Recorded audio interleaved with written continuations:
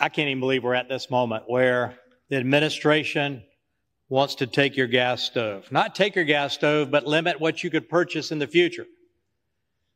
I rise in support of H.R. 1640, Save Our Gas Stoves Act, and it's no secret this administration has waged war on American energy. From day one, President Biden has waged war on American energy, doing everything possible to phase out the use of all fossil fuels, including American produced oil and clean burning American produced natural gas.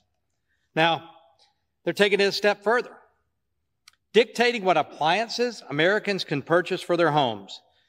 In February, the Department of Energy announced a new proposal that would ban most natural gas fueled stoves on the market today. According to DOE's evaluation, only 4% of gas stove cooking tops that were tested would meet the DOE's proposed standard. DOE's proposed regulation would render gas stoves almost completely unavailable to the American consumer.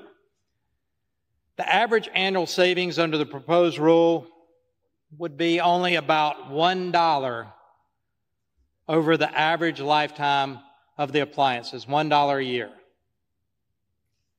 We're debating a proposed rule that would save Americans on average $1 a year over the life of the appliance.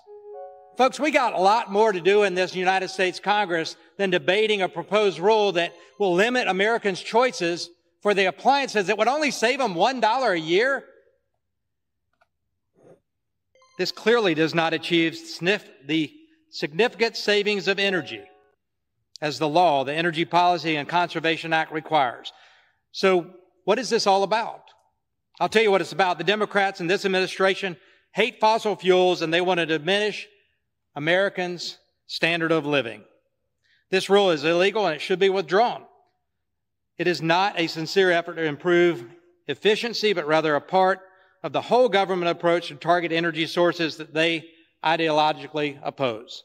H.R. 1640, the Save Our Stoves Act, which we're debating today, would prohibit the Secretary of Energy from finalizing, implementing, or enforcing, enforcing the recently proposed rule. It would also prohibit the Department of Energy from reissuing a rule that bans the use of natural gas, which is their goal is to end natural gas in this country. Natural gas is what got us down to the carbon emissions levels that we've achieved. If you want to approach it from the climate change standpoint, the carbon emissions standpoint, it's been because of natural gas. It would also prohibit the Department of Energy from reissuing a rule it would clarify that DOE does not have the authority to remove cooking products from the market simply because the fuel product that the, uh, the appliance consumes. I'm a proud co-sponsor of this bipartisan legislation, and I thank Congresswoman Lesko for her leadership on this and introducing this bill. Americans should be free to choose the cooking products they use in their homes and their businesses, and this bill ensures that. Households that use natural gas for heating, cooking, clothes drying save an average of $1,068 per year compared to homes that use electricity for those appliances. The rush to green and mass electrification efforts pursued by the Biden administration are costing Americans, making everyday life more expensive, all for a dollar per year savings. You know, gas stoves today, it'll be gas furnaces tomorrow. They were already talking about that. It'll be gas hot water heaters, then dryers.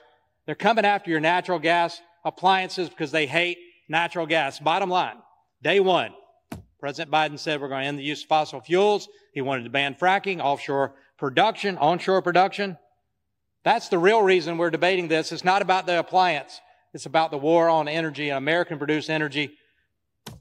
I urge my colleagues to support this legislation that's in front of us today, which prioritizes American energy affordability and reliability. And it puts the American people first, gives them the choices.